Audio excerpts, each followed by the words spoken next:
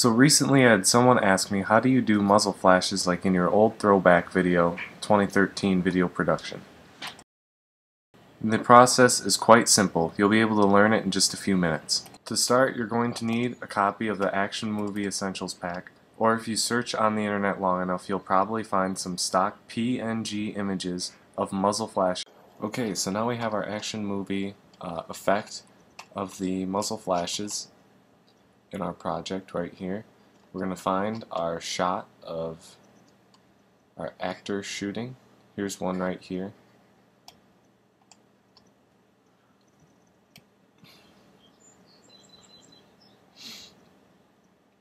So we're going to find the frame when the gun starts to go backwards. You're going to have your actor kick the gun back and we're we are going to add this flame effect. Find the frame. So now we've got our action movie effect placed over the video right here. We're going to position it using transform, select the clip,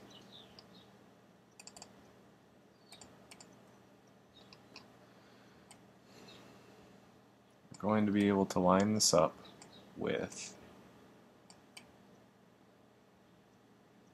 where the side of the gun.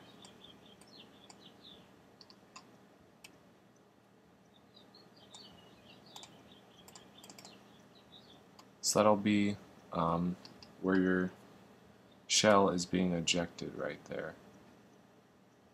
And we're going to now we're going to add let's move this forward one frame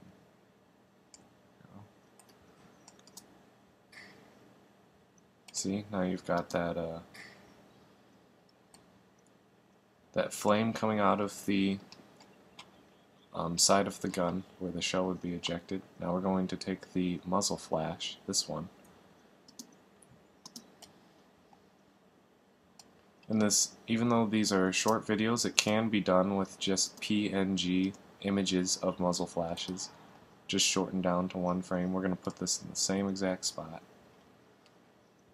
This is when we're going to have to zoom in to our clip because it's going to be very precise.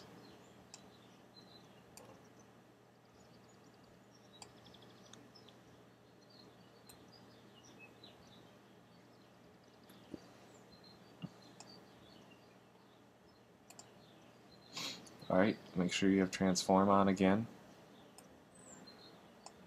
Going to take this line it up to the front of our gun. We're going, one of the important parts here is making sure that is angled so it goes down with the angle of your gun. Just turn it a little bit more. There we go. Now it looks like the muzzle flash has some direction to it. And that's about it. If you're using a PNG image, then you'll probably, or a muzzle flash image, you might get a black box around your muzzle flash. If you're getting that, then you're going to want to select the clip, use um,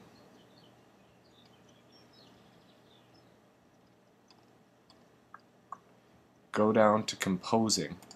You're going to select your blend mode and do overlay and that will just make the black go away and the muzzle flash blend into the rest of uh, your image there.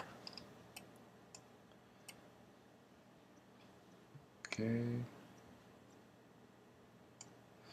So this looks good for some quick editing right here to just get this simple um, shot going off with this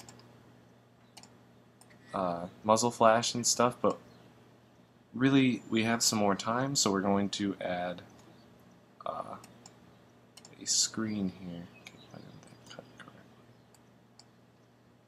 Make sure you're in the right frame. I'm going to just for one frame. This is one frame right here. Cut that one frame. We're going to apply this uh, shape mask that we've got over here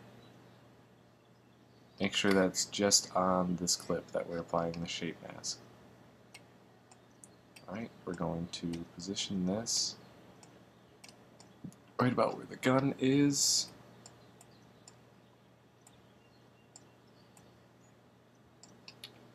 Now we're going to go into the correction by hitting this arrow here. Bring up your exposure. If you uh, play around with this a little bit, you can get just what you want. I usually like to make it a little yellow. It's only going to be a split second, so this image, even though it does not look very good, uh, people won't even realize it when it happens. It'll just look like a really cool effect that you have.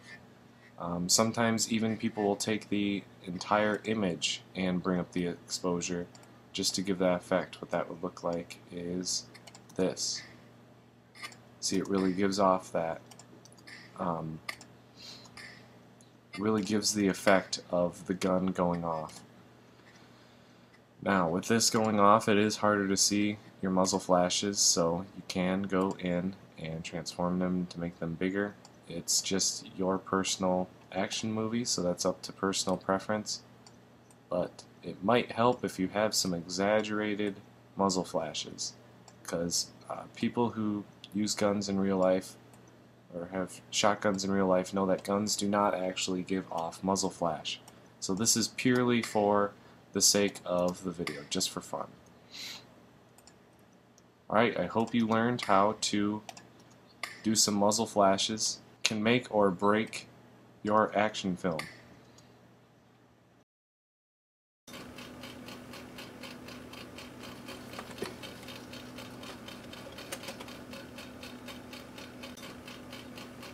Oh no.